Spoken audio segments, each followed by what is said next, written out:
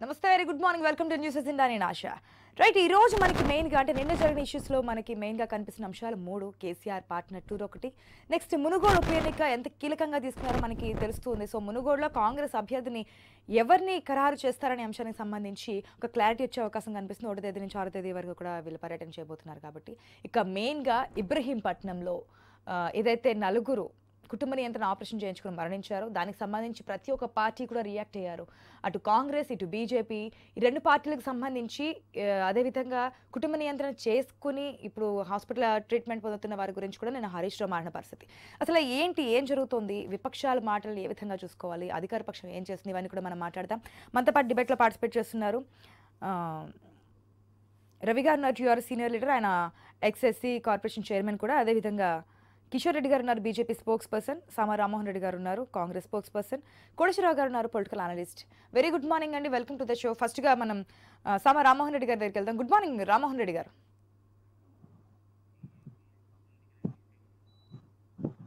Okay ఏ పార్టీకి ఆ party విమర్శలు చేసుకోవడం మనం చూసాము. ఏం చేస్తుంది రాష్ట్ర ప్రభుత్వం? పాట్నాకి ఫ్లైట్లో వెళ్తారు కానీ ఇక్కడ లేదా అనే కామెంట్స్ కూడా మనం నిన్న చూసాము. కానీ రాష్ట్ర ప్రభుత్వం కూడా దానికి ధీటుగా సమాధానం చెప్పారు. ఆరు నుంచి ఏడు సంవత్సరాల లోపు ఎక్కడ ఇటువంటి ఘటన జోడు చేసుకోలేదు. ఈ సంవత్సరం ఈసారి ఇలా జరిగింది. దురదృష్టకరమే వారి మీద యాక్షన్ తీసుకున్నామని చెప్పి. పొలిటికల్ పార్టీస్ కాకుండా యాజ్ ఎ పొలిటికల్ అనలిస్ట్గా కోటేశ్వరరావు గారి అభిప్రాయం తెలుసుకుందాం ఫస్ట్గా good morning Koteswararao garu. Good morning good morning. Ibrahimpatnam issue గురించి అటు ప్రతిపక్ష పార్టీలు కానీ లేదంటే ఇటు అధికార పక్ష కామెంట్స్ కానీ మనం పూర్తిగా విన్నాము. ఏమంటారు? ఇప్పుడు మన దేశంలో కుటుంబ నియంత్రణ పథకాన్ని కేంద్ర ప్రభుత్వం ప్రారంభించి ఇప్పటికి డెబ్బై డెబ్బై సంవత్సరాలు. పంతొమ్మిది వందల యాభై రెండులో దాన్ని ప్రారంభించారు. అంటే స్త్రీ పురుషులకి ఇద్దరికి కుటుంబ నియంత్రణ పథకం అనేది కేంద్ర ప్రభుత్వం పథకం. దాన్ని అమలు జరిపేది సహజంగానే రాష్ట్రాలు.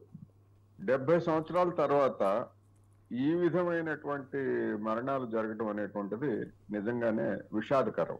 ఎందుకంటే అప్పటితో పోలిస్తే ఇప్పటికీ సాంకేతిక పరిజ్ఞానం రీత్యా కానీ అంటే వైద్యపరమైనటువంటి సాంకేతిక పరిజ్ఞానం కానివ్వండి లేదా వైద్యుల్లోనూ లే- ఆపరేషన్లు చేయించుకునేటువంటి స్త్రీ పురుషుల్లో కూడా అవగాహన అనేటువంటిది ఎన్నో రెట్లు పెరిగింది. అయినప్పటికీ ఈ విధమైనటువంటి ఉదంతం జరగటం ఆశ్చర్యం కలిగిస్తుంది. నిజంగా ఇది చాలా బాధాకరమైనటువంటిది. దీనిలో ఏ లోపాలు జరిగాయి? అంటే పరిశుభ్రమైనటువంటి పద్ధతుల్లో ఆపరేషన్లు చేశారా? లేకపోతే ఆపరేషన్లు చేసిన తర్వాత ఆ, మహిళలు సదరు మహిళలు పాటించాల్సినటువంటి జాగ్రత్తలు తీసుకోలేదా? లేదా ఆపరేషన్ చేసేటువంటి సమయంలోనే ఏదైనా పొరపాటు జరిగిందా? ఏమిటనేటువంటిది మనకి విచారణలోనే తెలుస్తుంది. విచారణ అంశాలు బహిర్గతమైన తర్వాతనే మనం చెప్పుకోగలం కానీ ఇది దీని యొక్క ఎఫెక్ట్స్ ఎట్లా ఉంటాయనేది మాత్రం ఈ సందర్భంగా మనం చెప్పుకోవచ్చు. ఈ క్యాంపుల ద్వారా ఇటువంటి ఆపరేషన్లు చేయడం అనేటువంటిది అది అవసరం లేదు. ఎందుకంటే గతంలో క్యాంపులు ఇప్పుడు ఇది నార్మల్ అయిపోయింది సాధారణం అయిపోయింది అందువలన సహజంగానే పిల్లలు వద్దనుకున్న తర్వాత ఇద్దరు లేకపోతే ఒకళ్ళు పుట్టిన తర్వాత వెంటనే ఆపరేషన్లు చేయించుకోవడం అనేటువంటిది సర్వసాధారణంగా మారింది. అందువల్ల ఈ క్యాంపు పద్ధతుల్లో కాకుండా మామూలు ఆసుపత్రిలోనే అన్ని జాగ్రత్తలు తీసుకునే పద్ధతుల్లో ఇదే పని చేయవచ్చు. కానీ క్యాంపులు ఎందుకు పెడుతున్నారు ఇంకా ఇదంతా ఓల్డ్ పద్ధతి నైన్టీన్ ఫిఫ్టీ టూ పద్ధతి అది అవగాహన. లేనప్పుడు అవగాహన లేనప్పుడు. రెండోది తగినటువంటి మౌలిక వసతులు లేనప్పుడు కూడా ఎందుకంటే నేను నా చిన్నతనంలో మా గ్రామంలో చూశాను పురుషులకి చేసేటువంటి ఆపరేషన్స్ ఒక స్కూల్ గదిలో కొద్ది నిమిషాల్లోనే అంటే ఆ రోజు ఉన్నటువంటి దానిలో ఆ స్కూల్ గదే అక్కడ క్యాంప్కి ఆలవాలమైంది. అందువలన ఇప్పుడు మారినటువంటి పరిస్థితి ఎక్కువ ఎక్విప్మెంట్ కానివ్వండి ఎస్టాబ్లిష్మెంట్ కానీ ఉన్నటువంటి స్థితిలో ఈ విధంగా జరగడం అనేది ఇటువంటి పనులు జరిగితే ఏమవుతుందంటే ఆపరేషన్లు చేయించుకునేటువంటి వాళ్ళు వెనక్కి తగ్గేటువంటి అవకాశం ఉంది. వెనక్కి తగ్గేటువంటి అవకాశం ఉండటంతో పాటు ప్రభుత్వ ఇటువంటి క్యాంపులకు వెళ్తే ప్రాణాల మీదకి వస్తుంది. అందుకని ప్రైవేట్కి వెళ్దామంటే వాళ్ళకి అదనపు ఖర్చు కూడా పెరుగుతుంది. అందుకని ప్రభుత్వం ఎప్పటికైనా ఈ అనుభవాల్ని పరిగణలోకి తీసుకొని ఎక్కడ లోపం జరిగిందో ఆ బాధ్యులైనటువంటి వాళ్ళ మీద తగిన చర్యలు తీసుకోవడంతో పాటు ఆపరేషన్లు చేయించుకునేటువంటి స్త్రీ పురుషుల్లో ఎవ ఇద్దరికి కూడా ఒక కాన్ఫిడెన్స్ కలిగించాలి. ప్రభుత్వ కేంద్రాలకు వస్తే ఏమి కాదు. జాగ్రత్తగా చూస్తారు అనేటువంటి ఒక కాన్ఫిడెన్స్ కలిగించాల్సినటువంటి అవసరాన్ని ఈ ఉదంతం స్పష్టం చేసింది అనేది ఈ సందర్భంగా నేను చెప్పదలుచుకున్నాను ఓకే. ప్రతిపక్షాల డిమాండ్స్ గురించి ఏమంటారు? ప్రతిపక్షాలు డిమాండ్ చేసేది ఏంటంటే కోటి రూపాయలు నష్టపరిహారం అంటున్నారు ట్రీట్మెంట్ పొందుతున్న వాళ్ళు పది లక్షలు ఇవ్వాలంటున్నారు ఎడ్యుకేషన్ అంటున్నారు. అటు అధికార పక్షం కూడా మేము ఐదు లక్షలు ఇచ్చాము ఎడ్యుకేషన్ చూసుకుంటాము. ఎవరైతే హాస్పిటల్లో ట్రీట్మెంట్ పొందుతున్నారో వారికి వారి కుటుంబ సభ్యులు పదివేలు చొప్పున ఇచ్చాము. దురదృష్టకరమే కానీ యాక్షన్ తీసుకుంటామని చెప్పి చెప్తున్నారు. యాక్షన్ తీసుకుంటారు ఏదో ఒకటి తీసుకుంటారు. సమస్య అది కాదు. ఇక్కడ ప్రతిపక్షాలు అనేటువంటివి నష్టపరిహారం డిమాండ్ చేయడం తప్పేం కాదు. చట్ట ప్రకారం కానివ్వండి లేదా చట్టాలకు అతీతంగా కానీ కొంత ఉదార ఉదారంగా వ్యవహరించాల్సినటువంటి అవసరం ఉంటది. ఎందుకంటే చిన్న పిల్లలు ఉంటే వాళ్ళ భవిష్యత్తు ఇప్పుడు వాళ్ళంతా కూడా ఆ, ము- ముప్పై సంవత్సరాల లోపే కదా ఆపరేషన్లు చేయించుకునేటువంటి వాళ్ళు ఇవాళ. అందువల్ల వాళ్ళ పిల్లల్ని ఆలనా పాలన చూసుకునే వాళ్ళు లేదా భర్తలు మళ్ళా ద్వితీయ వివాహం చేసుకునేట్లయితే ఆ పిల్లలకు సంబంధించినటువంటి భద్రత ఇవన్నీ కొన్ని అంటే మానవతాపూర్వకమైనటువంటి అంశాలు కూడా ఇందులో ఇమిడి ఉంటాయి కనుక ఇటువంటి ఉదంతాలలో బాధితులుగా మారినటువంటి పిల్లలకు యొక్క సంరక్షణ లేదా వాళ్ళ యొక్క మంచి చెడ్డలను చూడాల్సిన బాధ్యత కూడా ప్రభుత్వాల మీద ఉంటది. అందుకని ఆ రకమైనటువంటి చర్యలను తీసుకోవాలని ప్రతిపక్షాలు డిమాండ్ చేయడంలో తప్పు లేదనేది నా అభిప్రాయం. ఇక దాన్ని రాజకీయం అంటారా? అది ఆయా పార్టీలకు సంబంధించినటువంటి వ్యవహారం. దాన్ని మనం సమర్థించాల్సిన పని లేదు. బాధితులకు తగిన నష్టపరిహారం ఆ పిల్లల ఆలన పాలన చూసుకోవాలనేటువంటి డిమాండ్లో ఏ పార్టీ చేసినా తప్పు లేదనేది నా అభిప్రాయం. ఓకే. ఎస్ గుడ్ మార్నింగ్ అండి కిషోర్ రెడ్డి గారు. ఎస్ నిన్న బండి సంజయ్ చాలా కామెంట్ చేశారు. మనం చూస్తున్నాం ఏదైనా ఎస్ ప్రతిపక్షాలు అనగా ప్రజల పక్షాన ఏదైనా లోడ్ జరిగినప్పుడు లేదంటే ఇటువంటి ఘోరాలు జరిగినప్పుడు బయటకు వస్తుంటారు డిమాండ్ చేస్తుంటారు మాట్లాడుతుంటారు. బండి సంజయ్ మాట్లాడుతూ కూడా అబద్ధాల మంత్రి అని చెప్పి కామెంట్ చేశారు. ఈ విధంగా జరుగుతున్నాడు పాట్నా వెళ్ళి అక్కడ ప్రజల్ని చూస్తున్నారు కానీ ఇక్కడ ప్రాణాలు పోతుంటే పట్టించుకోరు. చాలా కామెంట్స్ అయితే చూసాము. నష్టపరిహారం అడగడము ఇవన్నీ కూడా ప్రజలు కనీసం మత్తు కూడా ఇవ్వకుండా చేస్తున్నారు. మేము ఇది చేస్తామా అని చెప్పి చెప్తున్న పరిస్థితి. తిరిగి దీటుగానే హరీష్ రావు కూడా మాట్లాడారు. ఈ పరిస్థితిలో నేను రాజకీయాలు చేయట్లేదు. రెండు రోజుల తర్వాత వచ్చి వాళ్ళు మాట్లాడుతున్నారు. జరిగిన వెంటనే రెస్పాండ్ అయ్యి రెండు రోజులుగా మేము మొత్తం కూడా ఫీల్డ్ నుంచి కూడా రిపోర్ట్ తీసుకుంటూ ఉన్నాము. సో కమిటీ వేసాము డైరెక్టర్ హెల్త్ నుంచి ఒక రిపోర్ట్ కూడా రావాల్సి ఉంది. అందుకే మేము వెంటనే ఇంటి దగ్గర వెళ్ళిన వాళ్ళని కూడా తీసుకుని వచ్చి హాస్పిటల్ అడ్మిట్ చేసి ఇన్ఫెక్షన్ తగ్గే వరకు కూడా వాళ్ళకి అయ్యే పూర్తి ఖర్చు మేము భరిస్తున్నాం ఇప్పుడు రాజకీయాలు చేసే పరిస్థితి కాదు అని చెప్పారు హరీష్ రావు. ఏమంటారు? ఎవరు రాజకీయాలు చేస్తున్నారు? ఏం లేదండి. నమస్తే అండి. ఐ న్యూస్ ప్రేక్షకులకు ఆశా గారు మీకు రావు గారికి అట్లాగే సామ రామ్మోహన్ రెడ్డి గారికి ఇతర ప్యానలిస్ట్ ఎవరైనా ఉంటే అందరికీ నమస్కారం అండి. సో నిన్న యాక్చువల్లీ అది అపోలో హాస్పిటల్లో వెళ్ళి వారిని కలిసి వచ్చినప్పుడు మాట్లాడిన విషయం అండి సంజయ్ గారు. నేను కూడా వెళ్ళాను అపోలో హాస్పిటల్కి. ఉమ్, ముప్పై నాలుగు మంది అంతకుముందు రోజు ముప్పై నాలుగు మందికి ఆపరేషన్ చేస్తే నలుగురు చనిపోయారు. వారంతా ఇప్పుడు ఏదైతే పిహెచ్సిలో చేశారో government primary health care centre లాంటి వాటిలో చేశారో ఇప్పుడు వారందరినీ తీసుకొచ్చి ఇక్కడ హైదరాబాద్లో అపోలో హాస్పిటల్ కానివ్వండి ఇంకా ఇతరత్ర హాస్పిటల్లో కానీ చేర్చవలసి వచ్చింది. పరిస్థితి వాళ్ళది తీవ్రంగా ఇన్ఫెక్షన్స్కి గురయ్యారు చేయబట్టి ప్రాణహాని జరిగింది. ఇప్పుడు ఉన్నవారు కూడా చాలా సీరియస్గా కొంతమందికి సీరియస్గా ఉండి ఉండింది. సో ఇంతకుముందు మన ఎన్కే రావు గారు చెప్పినట్లుగా ఇప్పుడు డెబ్బై సంవత్సరాల నుంచి చేస్తున్నాము ఈ వే ఆపరేషన్లు. అండ్ ఇంతకంటే బైపాస్ సర్జరీలు ఉన్నాయండి. హైదరాబాద్లో ఇప్పుడు మనం రెండు లక్షలకి బైపాస్ సర్జరీలు ఏ హాస్పిటల్కి అయినా పోయి ఇట్లా చేసుకొని ఇట్లా రెండు మూడు రోజుల్లో ఇంటికి వచ్చిన నాలుగు రోజుల్లో ఇంటికి వచ్చిన వాళ్ళు ఉన్నారు. స్టెంట్లు వేస్తారు గుండెల్లో. లేకపోతే వేరియస్ అదర్ కాంప్లికేటెడ్ సర్జరీస్ కూడా ఇప్పుడు చాలా సునా సునాయాసం అయిపోయినాయి ఒక సైడ్ చూస్తేనేమో ఇది ఎప్పటి నుంచో చేస్తున్నది ప్రపంచం మొత్తంలో చేస్తున్నది ఇండియాలో కూడా చేస్తున్నది బికాజ్ మనది highest population one of the highest population చేయబట్టి సెకండ్ లార్జెస్ట్ పాపులేటెడ్ కంట్రీ ఇట్లాంటి ఆపరేషన్లు అసలు మనం చేసిన ఇంకెవరు చేసి ఉండరు అన్నంతగా చేశాం. అట్లాంటిది ఈ రోజుకి వచ్చి ఇర- ఇరవై ఇరవై రెండులో ముప్పై నలుగురికి చేసి నలుగురు చనిపోయి మిగిలిన వాళ్ళందరూ హాస్పిటల్లో చేరవలసి వచ్చింది అని అంటే సూపర్ స్పెషాలిటీ హాస్పిటల్స్లో చేర్చవలసి వచ్చిన పరిస్థితి అని అంటే ఇందులో ఒకటి కాదు రెండు కాదండి. ఇందులో మనకేమి ఎక్స్పర్టీస్ లేని డాక్టర్సా అని అంటే అది కాదనే అనిపిస్తుంది. రెండోది వారు అన్నట్లుగా ఈ రోజు క్యాంపులు పెట్టి ఒకటేసారి ఏదో మందలాగా అందరినీ ఒకటేసారి చేయవలసిన అవసరమే లేదు. ఎందుకంటే ఆపరేషన్ థియేటర్స్ ఉన్నాయి మోస్ట్ శానిటైజ్డ్ కండిషన్స్లో చేయవలసిన ఆపరేషన్స్ని ఒకప్పుడు మనం అఫోర్డ్ చేయలేని పరిస్థితుల్లో అంటే మనకు ఆ స్తోమత లేని పరిస్థితుల్లో గవర్నమెంట్ కూడా అప్పుడు ఎట్లాగైతే చేసేవారో ఈ రోజు ఆ విధంగా చేయవలసిన పనే లేదు.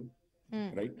రోజుల్లో నలుగురు చనిపోయారు అని అంటే దాని మీద ఒక ఒక సైడ్ ఏమో ఇది న్యూస్ అవుతూ ఉంటది. ఇంకొక సైడ్ ఏమో మన ముఖ్యమంత్రి గారు బీహార్లో కూర్చుని అక్కడ గాల్వాన్లో చనిపోయిన వారికి బీహార్ నుంచి బీహార్ వాళ్ళు ఇక్కడికి వచ్చి ఇక్కడ చనిపోయిన వారికి అన్న టైప్లో దాన్ని సమ సమర్థిస్తున్నాము. దానికి ఏమీ ప్రాబ్లం లేదు. అది Hmm. ఇవ్వడం వల్ల నష్టమని అనడం లేదు. కాకపోతే ఒకే రోజు చూడండి యువతలేమో స్పందన ఉండదు. అవతలేమో ముఖ్యమంత్రి గారు ఎక్కడికో వెళ్ళి ఏదో వేరే రాష్ట్రంలో వెళ్ళి అక్కడ సమస్యలు అక్కడ ముఖ్యమంత్రి ఉన్నారు. ఆయన మరి వారి ప్రజలని వారు టేక్ కేర్ చేయట్లేదు అని చెప్తున్నారో మరి ఏం చెప్తున్నారో మరి వారికి నితీష్ కుమార్ గారికి. ఇక్కడి నుంచి నేను వెళ్ళి అక్కడ సైనికులు చనిపోయిన వారికి గాల్వాన్లో వీరమరణం పొందిన వారికి నేను ఇక్కడ ఆదుకునేందుకు వచ్చాను అని చెప్పి వీరు చెప్తున్నారు ఇక్కడనేమో వీళ్ళందరూ ఆర్తనాదాలు మమ్మల్ని ఆదుకోమని. ఎందుకంటే రావు గారు ఇంతకుముందు చెప్పినట్లుగానే నిన్న వెళ్ళి కలిస్తే అందరూ కూడా ఇరవై ఐదు సంవత్సరాల లోపు ఉన్నారండి. అందరికీ కూడా మీరు అవును పసి బిడ్డలు కూడా three months five months babies ఉన్న ప్లానింగ్. ఆపరేషన్ చేసుకోరు కదండి ఇప్పుడు వాళ్ళకి ఒకరో ఇద్దరో పిల్లలు వాళ్ళు ఏజ్ ఉంటారు ఒక సంవత్సరము ఆరు నెలలు మూడు. నెలలు ఈ రేంజ్లో ఉన్న వాళ్ళు ఉన్నారు ఈ హాస్పిటల్లో ఉన్న వాళ్ళకి కూడా చిన్న పిల్లలండి చనిపోయిన వారికి అంతే? అట్లాంటి పరిస్థితి చాలా హృదయ విదారంగా ఉన్నది అండ్. ఈ జనరేషన్లో ట్వంటీ ట్వంటీలో జరగవలసిన అసలు ఎటువంటి అవసరము లేనిది ఎటువంటి. పరిస్థితి లేనిది సిచ్యువేషన్ నలుగురు ఒకటే రోజు చనిపోయారు. మనం ఈ హెల్త్ కేర్ ఈ రోజు ఈ ఫ్యామిలీ ప్లానింగ్ ఆపరేషన్స్ గురించే మాట్లాడుకోవడానికి ఏమీ ఇది లేదండి. హెల్త్ కేర్ వ్యవస్థ. ముఖ్యమంత్రి గారు అంతకుముందు వచ్చినప్పుడు రెండు వేల పద్నాలుగు నుంచి చెప్తూనే ఉన్నారు. మనము జిల్లాకు సూపర్ స్పెషాలిటీ హాస్పిటల్ కట్టుకుందాము కట్టిస్తాను అన్న టైప్లో. మన మన డబ్బులు మన చేతిలోకి వస్తే నీళ్ళు నిధులు నియామకాలు అన్న దాంట్లో మనకు నిధులు మన చేతికి వస్తే ఈ ఆంధ్ర పాలకులు అంటే డబ్బులంతా తరలించారు. కానీ మన చేతుల్లోనే ఉంటే మనం జిల్లాకు ఒక సూపర్ స్పెషాలిటీ హాస్పిటల్ కట్టి కట్టిస్తాము. ఆ, నియోజకవర్గానికి ఒక వంద బెడ్ హాస్పిటల్ కట్టిస్తాము. మండలానికి ఒక ముప్పై బెడ్ల హాస్పిటల్ కట్టిస్తాము. ఇవన్నీ ఉంటే ఈ రోజు ఇంతకుముందు వారు చెప్పినట్లుగా రావు గారు చెప్పినట్లుగా క్యాంపుల్లో లేకపోతే ఏదో తొందరపడి ఒకటేసారి ఒక గంటలో చేయవలసిన అవసరం ఏం లేదండి. నార్మల్ కోర్స్ ఆఫ్ హెల్త్ కేర్లోనే ఇవన్నీ జరగాలి. అండ్ అట్లాంటప్పుడు ఈ చావులు ఉండవు. అందులో ఎస్పెషల్లీ ఫండింగ్ ఒకటి. ఇప్పుడు వైద్య రంగానికి అసలు మనం ఎంత ఫండ్ చేస్తున్నాము బడ్జెట్లో ఏం పెడుతున్నాము యాక్చువల్గా నిజంగానే గ్రౌండ్లోకి ఎంత వెళ్తాం రిక్రూట్మెంట్ ఒకటి. డాక్టర్సే కానివ్వండి నర్సెస్నే కానివ్వండి మనం ఎంతమంది ఎన్ని పొజిషన్స్ ఉన్నాయి ఎన్ని హైర్ చేస్తున్నాము ఎన్ని ఖాళీలు ఉన్నాయి. Third equipment. And day to day expenses అండి. మెడిసిన్స్ కే కానివ్వండి సర్జికల్ ఎక్విప్మెంట్ కే కానివ్వండి లేకపోతే శానిటైజేషన్ కే కానివ్వండి ఇట్లాంటి వాటికి ఎంత డబ్బు ఇస్తున్నాం. ఫోర్త్ బేసిక్గా మనం ఫస్ట్ అనుకున్నట్టుగా ఇన్ఫ్రాస్ట్రక్చరల్ ఫెసిలిటీస్ ఈ రోజు మనం ఉస్మానియాకి ఎన్నిసార్లు అండి ఈ ప్రభుత్వం వచ్చిన తర్వాత వర్షాలు వచ్చినప్పుడు లేకపోతే వర్షాలు రానప్పుడు కూడా టాయిలెట్లనే కానివ్వండి కుక్కల లోపలికి వెళ్ళడమే కానివ్వండి ఎలుకలు కనిపించడమే కానివ్వండి మన గవర్నమెంట్ ఆసుపత్రులు. ఇది పరిస్థితి మొత్తం వైద్య వ్యవస్థని నాశనం చేసి పడేశారండి గత ఎనిమిది సంవత్సరాల్లో. అది నేను అనేది. ఇప్పుడు రెండో విషయానికి వస్తే ఈ రోజు మనమే గొప్పగా చెప్పుకుంటాం మన రాష్ట్రంలో పర్ క్యాపిటల్ ఇన్కమ్ అంటారు తలసరి ఆదాయం. రెండు లక్షల రూపాయలు ఉందన్న ఇప్పుడు వాళ్ళందరూ పేద కుటుంబాలు. ఇంట్లో ఉండి భర్త అయినా కానీ ఇద్దరు పిల్లల్ని చూసుకుంటూ పోతే కూలీ చేసుకోలేని పరిస్థితి. నిన్న వెళ్ళినప్పుడు వాళ్ళు అదే చెప్పారు. అయ్యా రోజుకు బయటికి పోతే అంటే వాళ్ళ తల్లులు వేరే వాళ్ళు వచ్చి ఇది చేస్తారు కదా పక్కన ఉంటారు. అదే. వాళ్ళు చెప్తున్నారు బయటికి పోతే రోజు వెయ్యి రూపాయలు వచ్చేది అన్న టైప్లో మాట్లాడారు. అంటే బ్రతుకు తెరువు కోసము రెక్కాడితే డొక్కాడని పరిస్థితిలో ఉన్న వాళ్ళు చాలా మంది ఉన్నారు. మరి ఇప్పుడు తలసరి ఆదాయం రెండు లక్షలు అంటున్నాం మీరు ఐదు లక్షల రూపాయలు ఇస్తే ఎన్ని రోజులు నడుస్తుందండి బండి? ఈ రోజు పరిస్థితులు ఏంటి వాళ్ళ పిల్లల చదువులేంటి రావు గారు ఆల్రెడీ చెప్పారు అంటే ఒక పునర్వివాహం చేసుకున్న ఆ పిల్లలు ఈ పిల్లలు ఎక్స్ట్రా బర్డెన్ ఈ పిల్లల్ని చూసుకోవాల్సిన వ్యవస్థ ఏది అని అయినా ఈ పరిస్థితి రావాల్సిన అవసరం లేదండి ఇప్పుడు ఆ. నలుగురు ఎటువంటి ఏదో కరోనా లాంటిది వచ్చింది సడన్గా మనకి ఏం తెలియదు ఎట్లా అడ్రస్ చేయాలో దానికి వ్యాక్సిన్లు లేవు మెడిసిన్లు లేవు ఏం చేయాలో గవర్నమెంట్ కూడా ఏమి అంటే. దాన్ని ఖండిస్తున్నారు కదా ఇటువంటి పరిస్థితి రావడం నిజంగానే బాధాకరం. దానికి గల కారణాలు తీసుకుంటాము సూపరింటెండెంట్ సస్పెండ్ చేస్తాము డాక్టర్ యొక్క లైసెన్స్ని కూడా పూర్తిగా రద్దు చేస్తున్నాము. దీని గురించి ఒక కమిటీ వేసాము కమిటీ నివేదిక వచ్చిన ఎవరైనా దీంట్లో ఇంకా భాగస్వామ్యం ఉన్నారనుకుంటే కనుక వారి మీద కూడా కఠినంగా చర్యలు తీసుకుంటామని చెప్పి చెప్తుంది కదా గవర్నమెంట్ కూడా. ఇటువంటిది కావాలని చెప్పి ఎవరు చెయ్యరు చెప్తున్నారు కదా. నేను ఒక్క విషయం చెప్తాను. ఇప్పుడు ఏ ప్రైవేట్ దాంట్లోనే ఇదే జరిగింది అనుకోండి ఆ డాక్టర్ని సస్పెండ్ చేస్తాము అని చెప్పారు అనుకోండి మీరు ఊరుకుంటారా? గవర్నమెంట్ ఊరుకుంటుందా? అదే వైద్య శాఖ మంత్రులు హరీష్ రావు గారు ఊరుకుంటారా? ఆ హాస్పిటల్కి ఎటువంటి బాధ్యత లేదంటారా? ఆ. సిఇఓకి ఎటువంటి బాధ్యత లేదా? ఇక్కడ ఈ మినిస్టర్కి ఎటువంటి బాధ్యత లేదా అండి. ఈ రోజు ఆ పరిస్థితులు అక్కడికి తీసుకురావడానికి అది గవర్నమెంట్ హాస్పిటల్. అక్కడికి తీసుకురావడానికి ఒక డాక్టర్ని ఫైర్ చేస్తాను ఒక అటెండెంట్ని ఫైర్ చేస్తాను ఒక నర్స్ని ఫైర్ చేస్తాను. ఆ పరిస్థితికి ఎందుకు వచ్చింది? ఎవరు బాధ్యత వహిస్తారు దీనికి? ఓకే. అండ్ ఆ డాక్టర్ దగ్గర నుంచే వసూలు చేసి కానీ అప్పుడు ఇస్తారా? అదే ప్రైవేట్ హాస్పిటల్ అయితే ఇట్లాగే ఉంటుందా?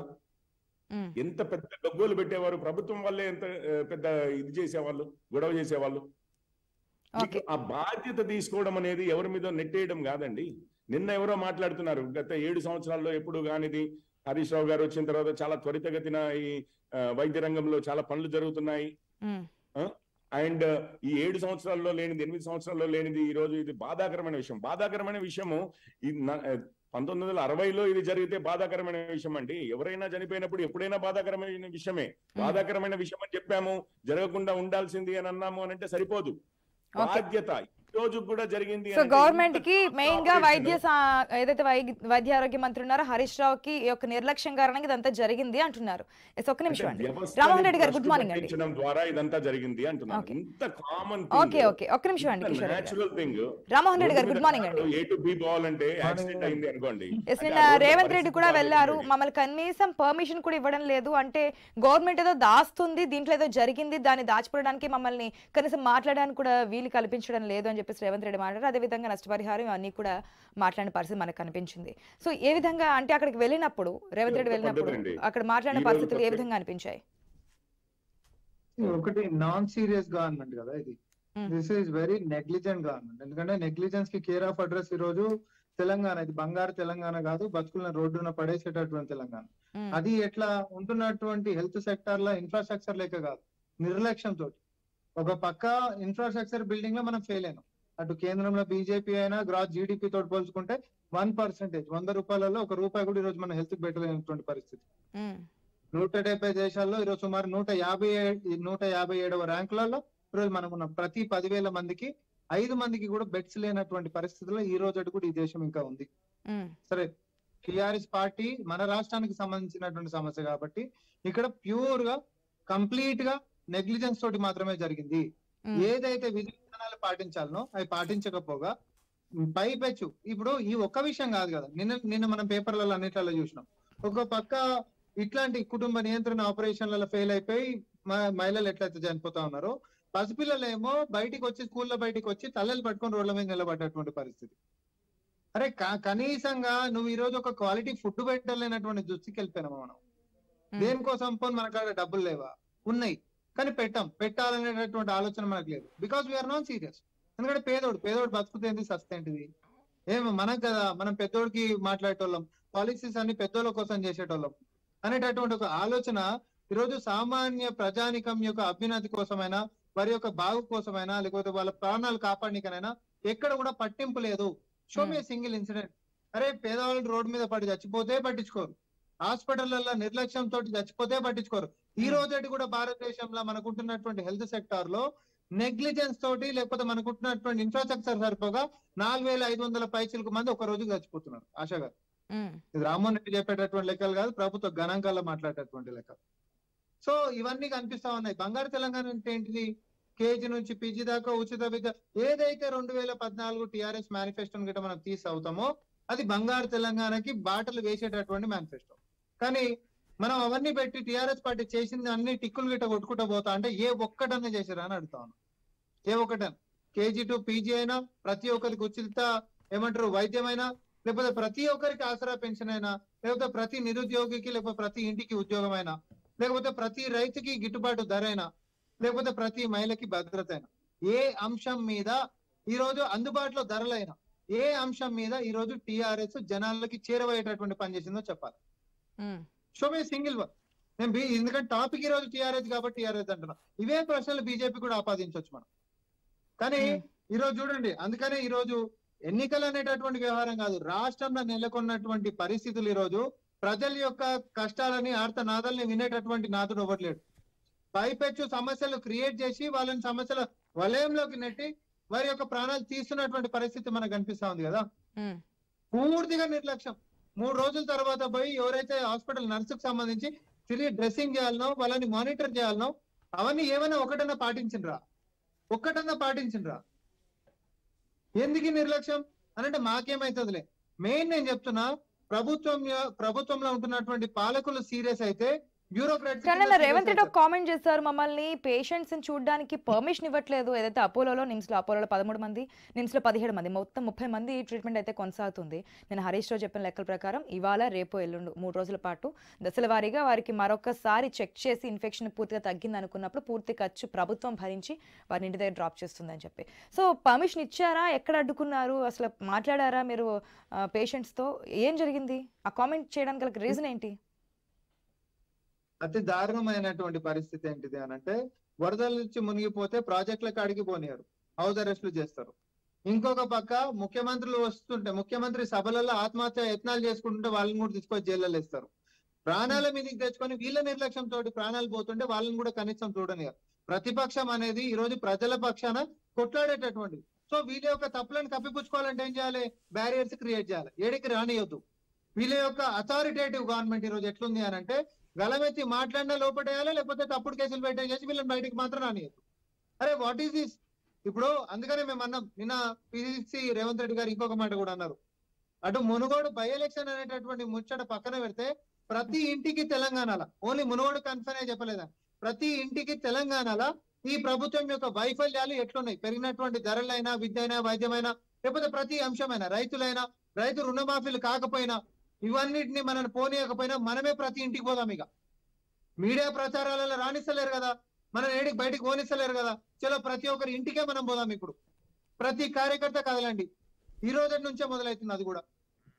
So end of the day చేసేటటువంటి తప్పులని కప్పిపుచ్చుకోనికే వీళ్ళకి ఉంటున్నటువంటి బలగాన్ని ప్రభుత్వాన్ని యంత్రాంగాన్ని వాడుకుంటున్నారు. అరే దీని ఇది పూర్తిగా ఖండించాలి. అనలిస్టులు కోటేశ్వరరావు గారు ఉన్నారు. చెప్పాలి దీని మీద. ఎందుకంటే ఇది ప్రజాస్వామ్యం అవుతుందా? రేపొద్దున ప్రజా సమస్యలని అడ్రస్ చేసేటటువంటి ప్రతిపక్షం రోడ్డు మీదకి వస్తుంటే ఆపేస్తుంటే నెక్స్ట్ ఏడికి పోవాలి? ఇట్లాంటి వాళ్ళకి గట్టి గుణపాఠం చెప్పాలి కదా? ఏ అంశంలో లేదు ఆశ గారు? ఐఎమ్ టెలింగ్ దిస్ ఏ అంశంలో లేదు. ఈ రోజు మనం మనం ఒక పాయింట్ అంటే ఒక ఇష్యూ తీసుకొని మాత్రమే మనం మాట్లాడుతున్నాం. ప్రతి జిల్లాలో ఏ జిల్లాలోనన్నా వసతి గృహంలో అరే ఒక నాణ్యతమైనటువంటి ఆహారం పెట్టలేనటువంటి దిక్కుమాల ప్రభుత్వం ఇది. ఇది బంగారు తెలంగాణ గురించి విశ్వవ్యాప్తంగా వెలిగిపోతున్న దాని గురించి దుష్ప్రచారాలు చేస్తా ఉంటారు. దేంట్లో మనం బెనిఫిట్ అవుతున్నాం ఏ ఒక్క తెలంగాణ వాదైనా ఈ రోజు రోడ్ ఎక్కి నిరసన చేసి లేకపోతే తెలంగాణ సాధించుకున్నోడికి బాగుపడ్డటువంటిది ఒక రిపోర్ట్ కార్డు ఉందా? కేవలం టిఆర్ఎస్ పార్టీ నేతలు మాత్రమే తప్ప. ఒక ప్రభుత్వ కార్యాలయం దగ్గర పోతే అవినీతితోటి అసలు చిన్నాభిన్నం చేస్తున్నటువంటి పరిస్థితి. ఇంకా చాలు. ఇక ఇక ఓపిక నశించింది. మనమే కథన రంగంలో దిగుదాం. ప్రతి ఇంటికి గడప తడదాం. వాళ్ళని చైతన్యం చేసుకొని మనమే కలుపుకొని ముందు పోదాం. ఇంకొకటి అవసరమైతే తెలంగాణ ఉద్యమం ఆకాంక్షల తెలంగాణ ఉద్యమం అనేటటువంటి ఒక దాంతో ముందుకు పోదాం అనేటటువంటిది నిన్న పిసిసి రేవంత్ రెడ్డి గారు పిలుపునిచ్చారు. కాక్ అండ్ బుల్ స్టోరీస్ చెప్పేటటువంటి ప్రభుత్వాలకి ఫుల్ స్టాప్ పెట్టాల్సినటువంటి అవసరం ఉంది. ఖాళీ మాటలలో మాత్రమే ఉంటే సరిపోదు కదా. అటు కేంద్రంలో ఉండి ఇక్కడ రాష్ట్రం మీద చర్యలు తీసుకుంటామనో లేకపోతే నియంత్రిస్తామనో ఓకే కేంద్ర. రాష్ట్రాలు ఏం చేస్తున్నాయి అంటే బీజేపీ పాలిత రాష్ట్రాలు కూడా చాలా ఉన్నాయి దాంట్లో కూడా చాలా ఇష్యూస్ ఎందుకంటే అధికారంలో ఉన్నప్పుడు సమస్యలు అనేవి బయటకు వస్తూ ఉంటాయి. దట్టు రిపీటెడ్ సెకండ్ టైం కూడా అధికారంలో రావడం దగ్గర దగ్గర ఎనిమిది సంవత్సరాలు అవడంతో వ్యతిరేకత అనేది కనిపిస్తూ ఉంటుంది. ఏం చేస్తారనే విమర్శలు కూడా వస్తూ ఉంటాయి. దీనికి సంబంధించి ఓకే ఇదంతా కూడా జరిగింది దీని గురించి మనం మాట్లాడదాం. ఇక మునుగోడు అంశం కూడా వచ్చింది కాబట్టి మునుగోడులో అభ్యర్థి ఖరారు. దానికి సంబంధించి కూడా కాంగ్రెస్ పార్టీలో before going to this topic. Sorry ఒక చిన్న విషయాన్ని గుర్తు చేస్తున్నా. కాంగ్రెస్ పార్టీ పాలిస్తున్నటువంటి రాజస్థాన్లో హెల్త్ పాలసీ ఎంత చక్కగా ఉంది అని అంటే ఒక మహిళ ఎమర్జెన్సీలో అంటే యాక్సిడెంట్ అయి ఎమర్జెన్సీలో సర్జరీలు అయి మూడు రోజుల తర్వాత జనరల్ వార్డ్లో మూడు రోజులు ఉన్న తర్వాత కూడా కంప్లీట్గా వాళ్ళ కొడుకు బయటికి మాట్లాడినటువంటి ఇదేదో మీడియా ప్రచారాలు ఎక్కడ రాలే. కానీ వాళ్ళ కొడుకు సోషల్ మీడియా మాధ్యమాల అమ్మని చూపించుకుంటా మాట్లాడినటువంటివి అన్ని రోజుల నుండి ఉచిత వైద్యం ఇస్తే కేవలం అయినటువంటి బిల్లు ఏడు వందల రూపాయలు. హెల్త్ పాలసీ అని అంటే ప్రతి పేదవాడికి కూడా ధైర్యాన్ని ఇచ్చేది ఉండాలి. ప్రతి ఒక్కడికి సమానత్వం చూపించేదై ఉండాలి. మన యొక్క చేష్టలు మన పనులలో కనిపించాలి. కేవలం మాటలలోనో ఈ పత్రికలలోనో పత్రికలలో పెద్ద పెద్ద అక్షరాలు వేసుకొని మీడియా మేనేజ్మెంట్ చేస్తే సరిపోదు కదా. So people will acknowledge it రేపు పొద్దున జనాలు మాకు నిజంగా న్యాయం జరుగుతుందా లేదా? అది బీజేపీ చెప్పినా. కాంగ్రెస్ చెప్పినా టీఆర్ఎస్ చెప్పినా ఎవరు చెప్పినా నిజంగా మనం చెప్పేటటువంటి ఆ విషయమే మాటలకి చూస్తూ ఉన్నారు. ప్రజలు చెప్పిందల్లా చూసిందల్లా నమ్మి లేదంటే రాజకీయ పార్టీలు అది ఏ రాజకీయ పార్టీ అయినా కానివ్వండి కాంగ్రెస్ టీఆర్ఎస్ బీజేపీ లేదంటే షర్మిల పెట్టిందనా జనసేన అటు వైసీపీ తెలుగుదేశం ఏదైనా కానివ్వండి ప్రజలు చెప్పిన మాట ప్రతిదీ విని అవును ఇది జరిగింది కదా అని చెప్పి అనుకునే అంత తెలుగు తక్కువ వాళ్ళైతే కాదు. ప్రతిదీ ఏ పార్టీ చెప్పినా దీంట్లో నిజం ఎంత వాస్తవం ఎంత రాష్ట్రానికి ఇచ్చింది ఏంటి తెచ్చింది ఏంటి దీనివల్ల మనకు వచ్చిన ప్రయోజనం ఏంటి మనం ఎంతవరకు ఎదిగాము ఏ స్థాయిలో ఉన్నామనేది ప్రజలైతే క్లియర్గా చూస్తున్నారు. దాన్ని బట్టే ఓట్ అనేది వేస్తూ ఉంటారు. నెక్స్ట్ టైం ఎలక్షన్స్లో ఓకే ఈ ఫైవ్ ఇయర్స్ పాలన గురించి వారి యొక్క అభిప్రాయం ఏంటో ఎలా వెళ్తున్నారు అనేది కూడా ప్రజలు క్లియర్గా ఆలోచిస్తున్నారు. రాజస్థాన్ బో అంటున్నాం మేము. నువ్వు బీహార్ పోకు రాజస్థాన్ పో. వాళ్ళు ఎట్లా సక్సెస్ అవుతున్నారు. అగ్రికల్చర్ కోసం. ఛత్తీస్గఢ్ పో. వాళ్ళు ఎట్లా సక్సెస్ అవుతున్నారు. ఆదర్శం అనేది పాజిటివ్ ఎక్కడ జరుగుతుందో ఆడికెందుకు తీసుకోండి? అరే రైతులు ఎందుకు సంతోషంగా ఉన్నారు అక్కడ? ఇక్కడ. ఎందుకు లేరు? ఇంకా కాంగ్రెస్ పాలిత జరుగుతున్నాయి? రాష్ట్రంలో బాగుంది పరిపాలన ఇక్కడ లేదు అంటున్నారు. ఎస్ మునుగోడు విషయానికి వద్దాం రామ్మోహన్ రెడ్డి గారు. కాంగ్రెస్ అభ్యర్థిని ఎవరిని నిలో నిలబెట్టాలి అనేది తర్జన భర్జన పడుతున్న విషయం మన అందరికీ తెలిసిందే. అటు పాల్వాయి శ్రవంతినా లేదంటే కృష్ణారెడ్డా? కృష్ణారెడ్డి నుంచి పడితే ఎటువంటి పరిస్థితులు? శ్రవంతి వస్తే ఎటువంటి పరిస్థితులు? ఇవన్నీ కూడా సీనియర్స్ వర్సెస్ రేవంత్ అనే విధంగా మారిపోయిన పరిస్థితులు కూడా మనకు కనిపిస్తున్నాయి. సాధారణంగానే కాంగ్రెస్ పార్టీలో ఈ నాయకుల మధ్య విభేదాలు తారాస్థాయికి వెళ్ళిన సిచ్యువేషన్స్ కూడా మనకు కనిపిస్తుంటాయి. సో మునుగోడుని కైవసం చేసుకోవాలంటే ముందుగా ఈ వర్సెస్ అనేది క్లియర్ చేస్తేనే కానీ అక్కడ స్థానం గెలుచుకునే అవకాశం ఎంతవరకు కనిపిస్తుంది అనుకుంటున్నారు? ఒకటి ఆశ గారు ముందుగా నేను ఒక స్పష్టతని ఇవ్వాలి. తర్జనలు భర్జనలు భజనలు లాంటివి అసలే లేవు. సో అక్కడ ఒక క్లారిటీ ఆల్రెడీ పిసిసి గారి దగ్గర ఉంది అది. ఇంటర్నల్గా కూడా బయటికి రావడం జరిగింది కానీ మ్మ్. అఫీషియల్ స్టేట్మెంట్ ఆయన నోటి నుంచి రావాలి కాబట్టి మేము చెప్పాల్సినటువంటి ఓకే రేవంత్ రెడ్డి చెప్పారు. రేవంత్ రెడ్డి చెప్పిన తర్వాత మిగిలినటువంటి సీనియర్స్ ఎంతవరకు యాక్సెప్టబుల్ చేస్తున్నారు? ఎంతవరకు స్వాగతిస్తున్నారు ఎవరి ఎవరి దగ్గర ఎట్లాంటి శశపిషలు లేవు. ఎవరి దగ్గర ఎట్లాంటి అడ్డంకులు లేవు అడ్డుకుల లేచేటోళ్ళు అసలే లేరు. నల్లగొండ జిల్లాలో ఉన్నటువంటి సీనియర్ నేతలు అందరి యొక్క సమన్వయం తోటి ఈ రోజు నిర్ణయాలు తీసుకోవడం జరిగింది. వీళ్ళకంటే కూడా మునుగోడు ప్రజల యొక్క అభీష్టం మేరకి సర్వేలు జరిగినాయి. అక్కడ ఒకసారి జరగలేదు రెండు సార్లు జరగలేదు. మూడు రౌండ్ల సర్వేలు జరిగినాయి. మూడు రౌండ్ల సర్వేలలో కూడా ప్రజలు ఏ యొక్క అభ్యర్థిని అయితే కోరుకుంటారో ఆ యొక్క అభ్యర్థిని ఈ రోజు టిపిసిసి మరి అధ్యక్షులు రేవంత్ రెడ్డి గారు ప్రతిపాదించేయడం కాదు డిక్లేర్ చేసేటటువంటిది మాకు కనిపిస్తా ఉంది. అది అది కూడా జరిగిపోతుందని మేము అనుకుంటాం ఎందుకంటే ఆల్రెడీ అఫీషియల్ స్టేట్మెంట్ ఒకటే బాకీ ఉంది. ఇంటర్నల్గా వేరే అభ్యర్థులను కూడా పిలిపించి మాట్లాడడం జరిగింది. అవును. ఏదైతే. ఆశావాహులు ఉన్నారో టికెట్ వస్తుందని చెప్పి. ఆశాభావంతో ఉన్న వారిని పిలిపించడము బట్టి వీళ్ళందరూ కూడా బుజ్జగింపులు చేయడం అంతా జరిగింది. పార్టీ కోసం కష్టపడాలి. ఎవరిని నుంచోబెట్టినా అనే కామెంట్స్ కూడా మనం విన్నాం. కానీ మాటల వరకు బాగానే ఉంటాయి. ఆఫ్టర్ దట్ అభ్యర్థిని ప్రకటించిన తర్వాత ఏదైతే ఆశావాహులు ఏ విధంగా రియాక్ట్ అవుతారు ఒకవేళ పార్టీ వీడి అవకాశం ఉంటే కనుక ఏ విధంగా యాక్షన్ తీసుకో ఇవన్నీ కూడా వస్తున్నటువంటి పరిస్థితులు. Okay Sravanthi next. స్టెప్ ఏ విధంగా. ఉండబోతుంది అనేది ఏమి లేదు అట్లాంటివి. అందుకనే ముందుగానే మాట్లాడిండ్రు ఉమ్, అందుకనే ముందుగానే మాట్లాడిండ్రు. భవిష్యత్ కార్యాచరణ ఏంటిది భవిష్యత్ వారి యొక్క రోల్ ఎట్లా ఉండబోతుంది. వారికి ఎట్లాంటి బాధ్యతలు ఇవ్వబోతున్నారు అనేటటువంటిది కూడా చాలా స్పష్టత తోటి పిసిసి గారు మాట్లాడడం జరిగింది. దీని మీద మనందరం కూడా చూస్తాం ఎందుకు మనం ఇప్పుడే ముందు మాట్లాడుకోవాలి చూద్దాం, నిజంగానే, మీరు అనుకున్న. విధంగా ఏ అంటే వర్సెస్ లేదు తర్జన భర్జన లేవు అనుకుంటే క్లియర్ గానే ముందుకు వెళ్ళొచ్చు. అది కాంగ్రెస్ పార్టీ కూడా ప్లస్ పాయింట్ మైనస్ పాయింట్ అయ్యే అవకాశం కూడా కనిపిస్తుంది. ఎస్ కోటేశ్వరరావు గారు నిన్న పాట్నా పర్యటన దీనికి సంబంధించి ఏ విధంగా చూసుకోవాలి? అటు కోమటిరెడ్డి వెంకటరెడ్డి కావచ్చు బండి సంజయ్ కావచ్చు ప్రతిపక్షాలు ఆర్గ్యూ చేస్తున్నా ఇక్కడ ప్రజలు ఇంత ఆవేదన పడుతుంటే కన్నీళ్ళు కారుస్తుంటే చనిపోతుంటే ఏ మాత్రం పట్టకుండా ఫ్లైట్లో పాట్నాకు వెళ్ళి అక్కడ వారిని ఆదుకుంటా అని చెప్పడం ఏ విధంగా సమంజసమని చెప్పి. కానీ నితీష్ కుమార్ సీఎం కూడా మాట్లాడుతూ మనకి కేసీఆర్ గురించి అవగాహన లేని వారే మీ గురించి తప్పుడు మాటలు మాట్లాడతారు. దేశంలో ఈ విధమైన పరిస్థితులు ఉన్నప్పుడు కూడా రాష్ట్రాన్ని సాధించుకున్నటువంటి వ్యక్తి మీరే కేసీఆర్ అవుతారు. సో మేమంతా కూడా ఒక త్రాటి మీద వచ్చామని చెప్పి కేసీఆర్ ఇవన్నీ కూడా మారిన పరిస్థితి మనకు కనిపించింది ముక్త భారత్ అని చెప్పి బీజేపీ ముక్త భారత్ అని. సో ఏ విధంగా చూడాలి రాష్ట్రంలోని పరిస్థితులు? కేసీఆర్ దేశంలో చక్రం తిప్ప అని చెప్పి అనుకోవడము బీజేపీ ముక్త భారత్ నినాదము. ఇవన్నీ కూడా పార్ట్ ఆఫ్ ది గేమ్. ఆటలో భాగం. అది రా- రాజకీయ ఆట కావచ్చు లేకపోతే మరొకటి కావచ్చు. ఇప్పుడు ఎవరైతే ఇవాళ కేసీఆర్ బీహార్ పర్యటనని ఎవరైతే విమర్శిస్తున్నారో రాష్ట్రంలో ఇలా ఉండగా బీహార్ వెళ్ళటం ఏంటి అనేటువంటిది సరే రాజకీయ పార్టీలుగా వాళ్ళకు ఉన్నటువంటి హక్కుల్ని మనం కాదను. ఇదే బీజేపీ కరోనా సమయంలో వలస కార్మికులు స్వస్థలాలకు వెళ్ళడానికి అయ్యేటువంటి రైలు ఖర్చులు ఎవరు భరించాలి అనేటువంటి పెద్ద రచ్చ చేసినటువంటిది మనకు తెలుసు కదా.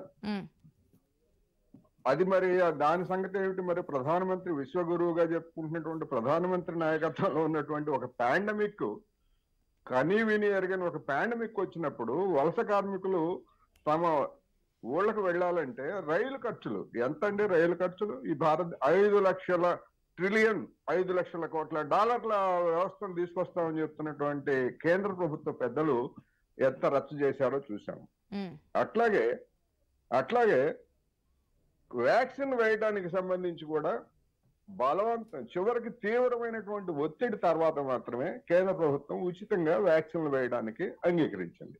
అందుకని ఇంతటి పాండమిక్లోనే కేంద్ర ప్రభుత్వ పెద్దలు ఆ విధమైనటువంటి బాధ్యత రహితంగా లేకపోతే ఎట్లా వ్యవహరించారో చూసినప్పుడు ఈ దేశంలో హరీష్ రావు గారైనా లేదా ప్రధానమంత్రిగా ఉన్నటువంటి వాళ్ళైనా కానివ్వండి అంత బాధ్యతాయుతంగా వ్యవహరించట్లేదు అన్నది స్పష్టం.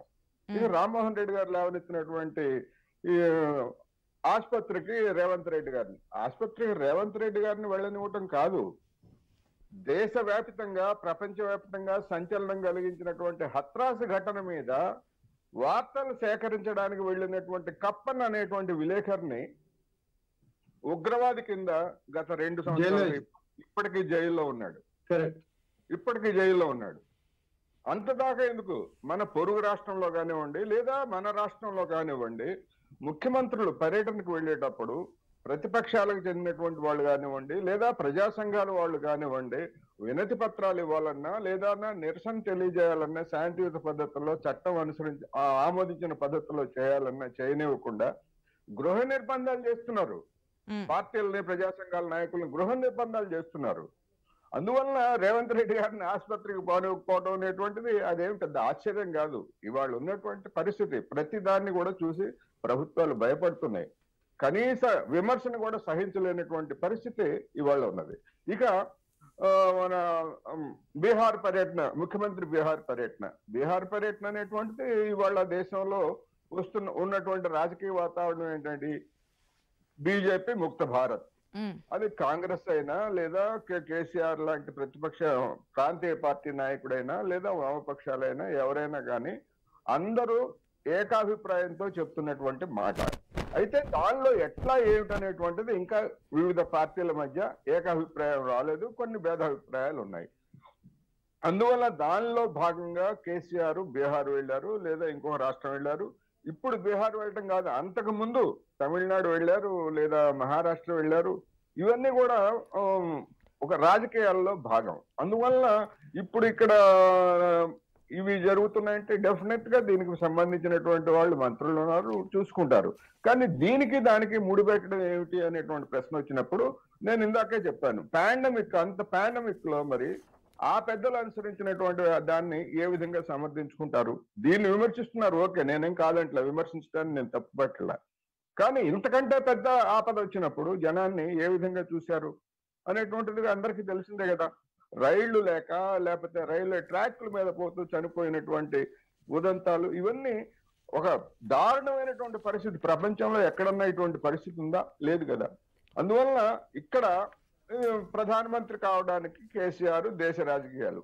నే నా అభిప్రాయం అయితే ఆయన ప్రధానమంత్రి అవుతాడో లేకపోతే ఇంకేదైనా అవుతాడో నాకైతే తెలియదు కానీ ఇవాళ తెలంగాణ రాష్ట్రంలో కాంగ్రెస్ బీజేపీ విసురుతున్నటువంటి రాజకీయ సవాల్.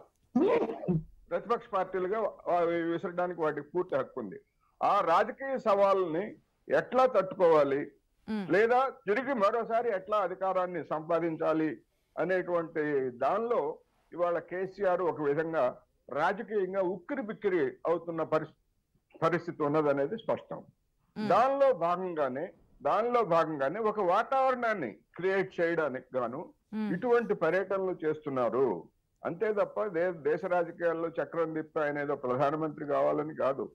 తిరిగి ముఖ్యమంత్రి పదవిని ఎట్లా దక్కించుకోవాలనేటువంటిదే దీని వెనకాల ఉన్నటువంటి అసలైనటువంటి ఓకే కానీ నిన్న వ్యూహము పాట్నా ఏదైతే ప్రెస్ మీట్లో మాడుతున్నప్పుడు సీఎం అనేక విషయాల గురించి ప్రస్తావించారు. ఆ విషయాలన్నీ వాస్తవం అంటారా? నీటి గుండి యుద్ధాలు జరుగుతున్నాయి. రూపాయి విలువ ఏ విధంగా పడిపోయింది? మనం దేశ అంటే ప్రపంచంలో మన దేశం ఏ విధంగా ముందుకు వెళ్తుంది? సో చెప్పండి. నిజమే కదా. రెండు వేల పద్నాలుగు మార్చి నెలలో సుబ్రహ్మణ్య స్వామి అనేటువంటి బీజేపీ నాయకుడు మా నరేంద్ర మోడీ గారు కనుక అధికారంలోకి వస్తే ముప్పై ఎనిమిది రూపాయలకి ఆ రోజు అరవై రూపాయలు ఉంది ఇది రూపాయి విలువ. దాన్ని ముప్పై ఎనిమిది రూపాయలకు తగ్గిస్తారని చెప్పేసి చెప్పారు. అంతకు ముందు ముఖ్యమంత్రిగా ఉన్నటువంటి నరేంద్ర మోడీ గారు ప్రభుత్వానికి బాధ్యత లేకుండా జవాబుదారీతనం లేకుండా ఉన్న కారణంగానే రూపాయి విలువ పడిపోతుందని చెప్పారు. మరి ఇప్పుడు ఎనభై రూపాయలు అయింది ఏ జవాబుదారీతనం ఉన్నది ఏ చర్యలు తీసుకున్నారు అనేటువంటిది ఇంతవరకు ఎక్కడ మాట్లాడరు నరేంద్ర మోడీ గారు. రూపాయి విలువ ఎందుకు పడిపోతుందని కేసీఆర్ కాదు జర్నలిస్టులు అనేక మంది అడుగుతా ఉంటే ఎప్పుడన్నా ప్రధానమంత్రి కనీసం జర్నలిస్టులతో మాట్లాడే ధైర్యం ఆయనకి లేదు. ఓకే అయిపోయింది. ఆ-. అది. ఇంకా మాట్లాడరుగా కనీసం మన్ కీ బాత్లో అయినా తనను తాను తన తనలో తాను గొణుక్కోవటం మన్ కీ బాత్ అంటే ఏంటంటే తనలో తాను గొణుక్కోవటం ఒక విధంగా చెప్పాలంటే. ఆ మన్ కీ బాత్లో అయినా ఆ మన్ కీ బాత్లో అయినా రూపాయి పతనం గురించి లేకపోతే ఇతర ఆర్థిక ఇబ్బందుల గురించి ఎప్పుడన్నా మాట్లాడారా? అందువలన ఇవన్నీ కూడా కేసీఆర్ నీటి యుద్ధాలంటే మరి ఏంటో? అదే కదా ఇప్పుడు తెలంగాణ తెలంగాణ రాష్ట్రంలో ఆంధ్రప్రదేశ్ మధ్య జరుగుతున్నటువంటి నీటి యుద్ధాలు. అదే విధంగా ఉత్తరాదిలో హర్యానా పంజాబ్ రాష్ట్రాల మధ్య ఉన్నటువంటి వివాదాలు వివిధ రాష్ట్రాల మధ్య ఉన్నటువంటి కర్ణాటక తమిళనాడు మధ్య ఉన్నటువంటి నీటి వివాదాలు ఇవన్నీ ఏమిటి మరి? ఒక విధంగా భౌతికంగా ఒకళ్ళొకళ్ళు కొట్టుకోకపోయినా పొడుచుకోకపోయినా కానీ దశాబ్దాల తరబడి సాగుతున్నటువంటి వివాదాలు ఇవన్నీ. ఇవన్నీ ఉన్నాయి. ఈ నేపథ్యంలో కేసీఆర్ చేసినటువంటి లేవనెత్తినటువంటి విమర్శలన్నింటికి కూడా బీజేపీ మరి సమాధానం చెప్పాలి. అందువల్ల అది వాస్తవమే అనేటువంటిది నా అభిప్రాయం. ఎస్ కిషోర్ రెడ్డి గారు మీ దగ్గరికి వచ్చే ముందు దీని గురించి కొన్ని యాడింగ్ పాయింట్స్ ఉంటాయి అంటున్నారు రామ్మోహన్ రెడ్డి గారు. ఎస్ రామ్మోహన్ రెడ్డి గారు. మాట్లాడమనండి కొంచెం సై- సమయం ఇవ్వాలండి అప్పుడు తప్పకుండా. ఇప్పుడు. ఒక ఒక విషయము. దేశంలో అయినా ఇటు రాష్ట్రంలో అయినా సరే రెండు ఒకటైనప్పటికీ కూడా ప్రభుత్వాలు వేరు కాబట్టి అటు దేశం నడిపిస్తున్నటువంటి కేంద్ర ప్రభుత్వం అయినా రాష్ట్ర ప్రభుత్వం అయినా ఉమ్, మన యొక్క ఆరోగ్య రంగం బాగుపడుతుంది అని అంటే హెల్త్ సెక్టర్ బాగుపడుతుంది అని అంటే అమిత్ షాకి కోవిడ్ వస్తేనేమో మేదాంత హాస్పిటల్లో జాయిన్ అవుతాడు. కేసీఆర్కి ఏమైనా మంచిగా లేకపోతే ఉరుగు పక్కన ఇంటి పక్కన ఉంటాడో యశోదాలో జాయిన్ అవుతాడు. దేశం ఎప్పుడు బాగుపడ్డట్టు అని అంటే క్రియాశీలక నేతలు ఎప్పుడైతే ప్రభుత్వ రంగ హాస్పిటల్లో జాయిన్ అవుతూ వాటి యొక్క అభ్యున్నతి కోసం కృషి చేస్తారో అప్పుడు సామాన్య ప్రజలకు కూడా ఒక భరోసా వస్తుంది. మీరేమో మీ మీరు నడిపిస్తున్నటువంటి మీ సర్కార్ మీద మీకే నమ్మకం ఉండదు. మీరు పోయి ప్రైవేట్ హాస్పిటల్లో ట్రీట్మెంట్లు తీసుకుంటారు. కానీ పేదోళ్ళ యొక్క పరిస్థితి ఏమైతుంది అంటే ఆక్సిజన్లు ఉండవు. ఇందాక కోటేశ్వరరావు గారు చెప్పిన దానికి ఇంకొక పాయింట్ యాడ్ చేస్తా ఉన్నా. ఆక్సిజన్ సిలిండర్ల యొక్క లేవు అందుబాటులో లేవన్నందుకు కూడా జైల్లో పెట్టినటువంటి పరిస్థితి ఇంకా ఉంది. ఆక్సిజన్ సిలిండర్లు యూపీలో అందుబాటులో లేవన్నందుకు జైల్లో పెట్టి ఇంకా బయటికి రాని పరిస్థితి కూడా నేను మాట్లాడుతా ఉన్నా. ఈ అంశాలను జరిసే పక్కన పెట్టండి. నరేంద్ర మోడీ గారు మన్ కీ బాత్లో ఏం మాట్లాడతారండి? మన్ కీ బాత్లో ఏం మాట్లాడతారు? భజనలు చేస్తానంట మాల్ న్యూట్రిషన్ పోతుందంట. పౌష్టిక ఆహార లోపాలు పోతాయంట భజనలు చేస్తే. ఈ రోజు ప్రపంచంలో భారతదేశం సిగ్గుతో తలదించుకునేటట్టు ఈ రోజు పసిపిల్లలు ఐదు సంవత్సరాల లోపు పిల్లల్ని కాపాడుకోలేనటువంటి దిక్కుమాల పరిస్థితుల్లో ఈ రోజు నూట ఒకటో స్థానంలో మనం ఈ రోజు ఉన్నాం. నూట ఒకటో స్థానంలో మనం ఈ రోజు ఉన్నాం. ప్రపంచానికి అన్నం పెట్టేటటువంటి స్థానంలో మాత్రం రెండో స్థానంలో ఉన్నాం. ఇది కాంగ్రెస్ యొక్క ఘనత ఉంటే. నరేంద్ర మోడీ గారు వచ్చిన తర్వాత ఏ ఘనతకు వచ్చినాం. ఐదు సంవత్సరాల లోపల ఉంటున్నటువంటి పిల్లలకి పౌష్టికాహారం పెట్టలేక ప్రాణాలు కాపాడుకోలేనటువంటి ఒక ఇండెక్స్లో నూట ఒకటో స్థానానికి వచ్చినాం. ఈ ప్రధానమంత్రి ఏమని చెప్తాడు? భజనలు చేస్తే మాల్ న్యూట్రిషన్ అనేటటువంటి ప్రాబ్లం పోతుంది అంటే ఇది మన్ కీ బాత్ లా. If you don't have seriousness మీకు జనాల మీద ప్రజల మీద చిత్తశుద్ధి లేనప్పుడు ఇట్లాంటి పిచ్చి పిచ్చి వాగుడులో మనం వాగుతుంటాం. ఎందుకంటే మన మన యొక్క ఆలోచన ఎంతసేపు పేదవాడి యొక్క ప్రాణం ఎట్లా కాపాడాలి? వాళ్ళ యొక్క అభ్యున్నతి ఎట్లా చేయాలి? పేదవాడి ఇంట్లో చదువు ఎట్లా చెప్పాలి? ఇంకోటి ఈడ కూడా రాష్ట్రంలో దళిత బంధు అని అంటే ఒక అకౌంట్లో ఆరు లక్షలు ఏడు లక్షలు కమిషన్లు తీసుకొని వేసేసి దళిత వర్గాలు మొత్తం బాగుపడ్డట్టు కాదు. ప్రతి ఒక్కరికి విద్యను అందించండి. ప్రతి ఒక్కరికి వైద్యాన్ని అందించండి. అంతే తప్ప ఈరోజు ఏ అభ్యున్నతి గురించి మాట్లాడకుండా ఏమనంటే ఏం చేసిరా దేశాన్ని అని అంటే పక్కన ఉన్నటువంటి బంగ్లాదేశ్ కంటే దిక్కుమాల పరిస్థితి తీసుకొని పోయారు. ఇంకోటికి కూడా చెప్తున్నా బీజేపీ వాళ్ళు ధర్మం గురించి మాట్లాడతారు. ఈ క్వశ్చన్ కూడా మరి కిషోర్ రెడ్డి గారు ఆన్సర్ చెప్పాలి. బీఫ్ ఎక్స్పోర్ట్లో బీఫ్ ఎక్స్పోర్ట్లో ఈ రోజు ప్రపంచంలో అతిపెద్ద ఎదుగుతున్నటువంటి దేశం ఏంటో తెలుసా? నరేంద్ర మోడీ గారు వచ్చిన తర్వాత భారతదేశం ఏ పాకిస్తానో కాదు ఆఫ్ఘనిస్తానో కాదు. బ్రెజిల్ అమెరికా తర్వాత ఈరోజు భారతదేశం బీఫ్ ఎక్స్పోర్ట్లో దూసుకుపోతున్నటువంటి పరిస్థితి ధర్మం గురించి మాట్లాడతాం. There is no seriousness only politics కోసం మాత్రం వీళ్ళు మాట్లాడతారు. ఇట్లాంటి అంశాలు ఇటు రాష్ట్రంలో అయినా అటు కేంద్రంలో అయినా వీళ్ళు చేసేటటువంటి కోటేశ్వరరావు గారు అంటున్నట్టుగా డ్రామా బాజీ ఏవైతే ఉన్నాయో ఇది ప్రజలకి పనికొచ్చేటటువంటి విషయం కాదు. ఒకప్పుడు ప్రజల గురించి ఆలోచించి పాలసీస్ తీసుకొచ్చేటటువంటి ప్రభుత్వాలను మనం చూసినాం. కానీ ఈరోజు ప్రజలని ఎట్లా మోసం చేసి మనం గెలవాలనే దాని మీద మరి స్ట్రాటజీస్ని అల్లుతున్నటువంటి ప్రభుత్వాలను. అవకాశాలు ఇచ్చారు నేను మాట్లాడడానికి. కోటేశ్వరరావు గారు చాలా బ్యూటిఫుల్గా చెప్పారు. రామ్మోహన్ ఆ, రెడ్డి గారు కూడా. ఈరోజు భారత ఆర్థిక పరిస్థితి. ఉమ్, మన్ కీ బాత్ ఆయన ఏదో కొనుక్కుంటూ ఉంటాడు. ఎనభై రూపాయలు అయింది ఈ రోజు డాలర్ ఒక డాలర్కి ఎక్కడ ఎక్స్పెక్ట్ చేయలేదంటారు? మరి వారు పేపర్లు లేకపోతే ఇంటర్నెట్ అందరికీ అబద్ధమా? గూగుల్కి వెళ్తే లేదు డాలర్ పరంగా డాలర్ స్ట్రెంగ్ అయింది రూపీ పరంగా చూస్తే. కానీ రూపీ మీరు యూరో యూకే పౌండ్ వేటితో చూసినా గానీ రూపీ స్ట్రెంగ్ అయింది ఒకటి. నిన్నటికి నిన్న పదమూడు పాయింట్ ఐదు శాతం మన జీడిపి గ్రోత్ రేట్ మన GDP growth rate first quarter of twenty twenty three పదమూడున్నర శాతం పెరిగిందండి. ప్రపంచంలోనే పెద్ద పెద్ద మీడియం అంటే మధ్య తరహా పెద్ద ఎకానమీస్లో ఫాస్టెస్ట్ గ్రోత్ రేట్ పదమూడున్నర శాతం. రైట్ అదే మీరు ఇది చూడండి. అమెరికా చూడండి. రెండు క్వార్టర్స్ కూడా వారికి తెలిసే ఉంటది. ఎకనామిక్స్ కొంచెం ఫాలో అవుతారని అనుకుంటున్నాను నేను. రెండు క్వార్టర్స్ నెగిటివ్ గ్రోత్ అంటే జీడిపి తగ్గిపోయింది. దాన్ని రిసెషన్ అనాలా వద్దా అని చెప్పి కొట్టుకుంటున్నారు. ఎప్పటి నుంచో జనాలు మామూలుగా అనుకునేది ఏంటంటే two quarters of negative GDP growth is recession అంటారు. అంటే రెండు మూడు నెలల ఈ క్వార్టర్స్ ఏదైతే ఉందో జీడిపి పడిపోతే దాన్ని రిసెషన్ అంటారు. ఈరోజు బైడెన్ గారి ప్రభుత్వంలో ఇదంతా టెక్నికల్ డెఫినేషన్ కాదు. ఇది ఇది టెక్నికల్ డెఫినేషన్ కాదు అని చెప్తున్నారు. ఎందుకు? ఆ- ఫైట్ నడుస్తుంది అక్కడ. ఇప్పుడు మరి భారతదేశంది రూపాయి వాల్యూ ఎక్కడుంది అనేది ఒక ఎత్తు అయితే జీడిపి అత్యంత ఫాస్ట్గా పెరుగుతోంది. వారు చెప్పిన అమెరికానేమో నెగటివ్ జీడిపి ఉంటే ఇండియాలో పదమూడున్నర శాతం అండి. చైనాలో లేదు. ఎక్కడ లేదు పదమూడున్నర శాతం గ్రోత్. ఆ పరిస్థితిలో మనం ఉన్నాం. పోనీ నెక్స్ట్ ఇయర్ మొత్తము ఏంటి అని అంటే వరల్డ్ బ్యాంక్ తీసుకోండి ఐఎంఎఫ్ తీసుకోండి ప్రైవేట్ ఇన్స్టిట్యూషన్స్ తీసుకోండి బ్లూంబర్గ్ ఇట్లాంటి వాటివి. ఎకనామిక్స్ తీసుకోండి సర్వే చేస్తే. పెద్ద మధ్య తరహా ఎకానమీస్లో మనము ప్రపంచంలో ఐదో పెద్ద ఎకానమీ అండి. సో మనం పెద్ద ఎకానమీస్లోకి వస్తాం కదా టాప్ ఫైవ్లో వచ్చినప్పుడు. పెద్ద ఎకానమీస్లో మధ్య తరహా ఎకానమీస్లో మన గ్రోత్ రేట్ ఉన్నంత ఇంకా ఏ దేశానిది లేదు ఈ సంవత్సరము అన్నది రెండో పాయింట్ అండి. అది మీరు రామ్మోహన్ రెడ్డి గారు ఏదో చెప్తా అన్నారు తర్వాత చెప్తురు కానీ మీకు సమయం ఇవ్వండి. ఎందుకంటే ఇద్దరు ఒక సైడ్ అయి మాట్లాడారు కదా అంటే నాకే ప్రశ్నలు వేశారు కదా నేను ప్రశ్నలు మాత్రం సమాధానం చెప్పాలి. మూడో విషయము మీరు ఏదో భజన కార్యక్రమం అన్నారు. రామ్మోహన్ రెడ్డి గారు అట్లా అనడము రాహుల్ గాంధీ గారు అట్లా అనడము కాంగ్రెస్ పార్టీ అట్లా అనడము అది చాలా న్యాచురల్ ఎందుకనంటే వారికి ఈ మన హిందూ సాంప్రదాయాలే కానివ్వండి దేశ సాంప్రదాయాలే కానివ్వండి ఇంకేదన్నా మిళితం చేసి ఏ కార్యక్రమంలోనైనా సత్ఫలిఫాలు సత్ఫలిఫాలు ఫలితాలు ఇస్తే మనకు నచ్చదు. అది హిందూ సాంప్రదాయాలు భజనలు చేయడం కాదండి. హిందూ. సాంప్రదాయాలు మా హిందూ నేను సాంప్రదాయాలు చెప్పనివ్వండి. నేను హిందూ చెప్పనివ్వండి. హిందూ సాంప్రదాయాలు మావి హిందుత్వ సాంప్రదాయాలు చెప్పనివ్వండి. నన్ను చెప్పనివ్వండి. అన్ని. అపవాదులు వేసినా గారు తర్వాత చెప్పొచ్చండి. మీరు చెప్పినప్పుడు. మీరు ఇద్దరు మాట్లాడినప్పుడు నేను కామెంట్ మీరు తర్వాత చెప్పొచ్చు. మీరు తర్వాత చెప్పొచ్చండి. ఓపిక ఓపిక దట్స్ ఆల్ సో అది ఏదో భజనలు చేసే మాల్ న్యూట్రిషన్ పోతుంది. ఫస్ట్ ఆఫ్ ఆల్ కాంగ్రెస్ ప్రభుత్వము నలభై ఏడు నుంచి ఒకే కుటుంబము. నెహ్రూ గారు ఇందిరాగాంధీ గారు మళ్ళీ పెద్దగా ఇప్పుడు ఇప్పుడే చెప్పారు వారు చాలా గొప్పగా చెప్పి దాని తర్వాత రాజీవ్ గాంధీ గారు సోనియా గాంధీ గారు మన్మోహన్ సింగ్ గారు ఎకనామిస్ట్.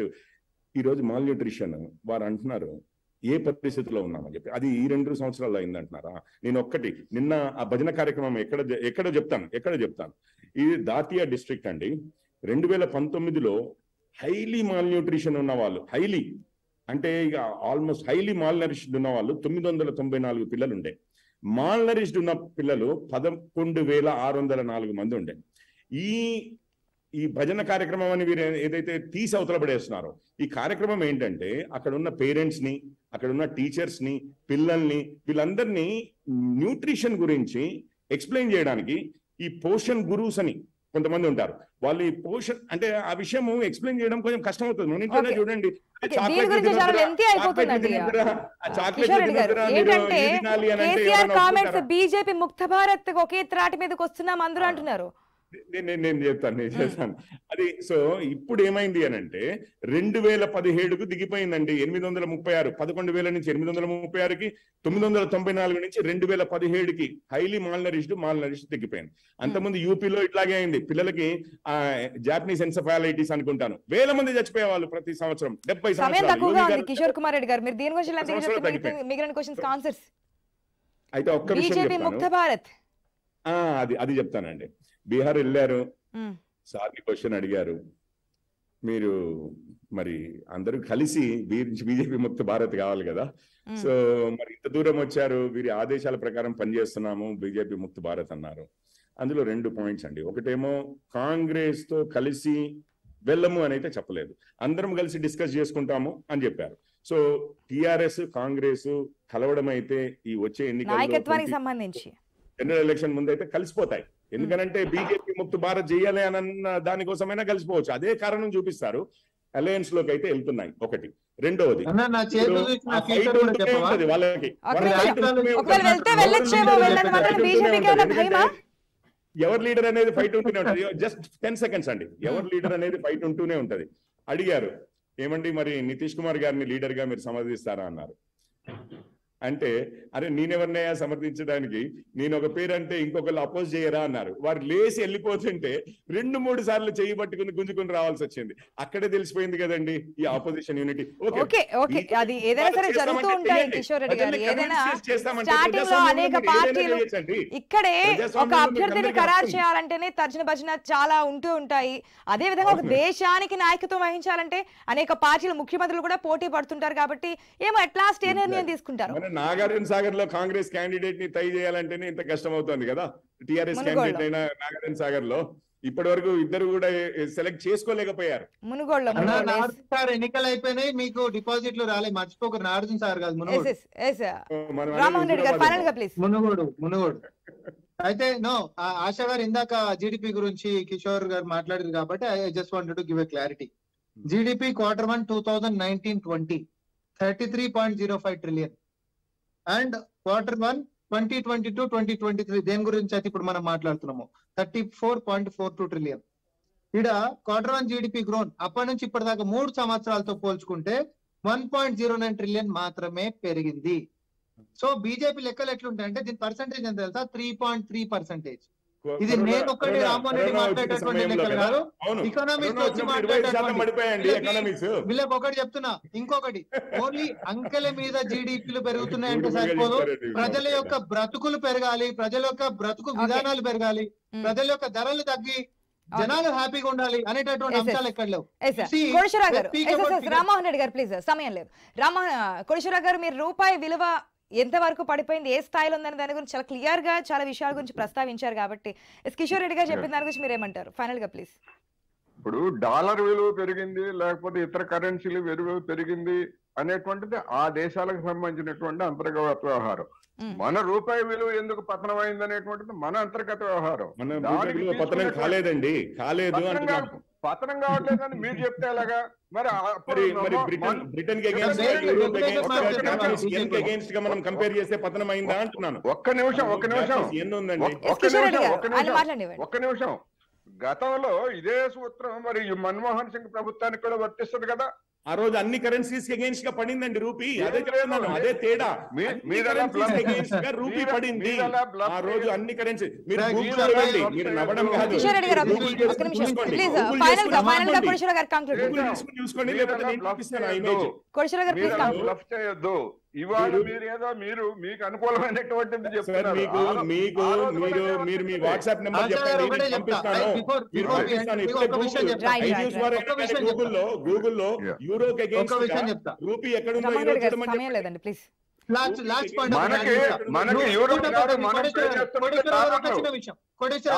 విషయం. సి ఒకటి బ్యారెల్ రేటు నూట పద్దెనిమిది డాలర్లు ఉన్నప్పుడు కూడా కాంగ్రెస్ పార్టీ యాభై ఆరు రూపాయలకి ఇచ్చింది లీటరు. కానీ పెట్రోల్ వేల డీజిల్ విషయానికి వస్తే మనం ఎనిమిది పెద్ద టాపిక్ అయిపోతుంది దాని గురించి మనం చాలా సార్లు ప్రస్తావించుకున్నాం. రూపాయి విలువ రూపాయి విలువ రూపాయి విలువ పతనమైన కారణంగా మనం. వంద డాలర్లకి ఆరు వేల రూపాయలు పే చేస్తున్నప్పుడు వీళ్ళ పతనమైన కారణంగా తొమ్మిది వేలు పదివేలు పే చేస్తున్నాం. అది అది ఓకే అది కారణం. Correct. Yes yes thank you అండి. థ్యాంక్ యూ సో మచ్ డిబేట్లో పార్టిసిపేట్ చేసినందుకు మొత్తంగా ఇది వాటి news keep watching I news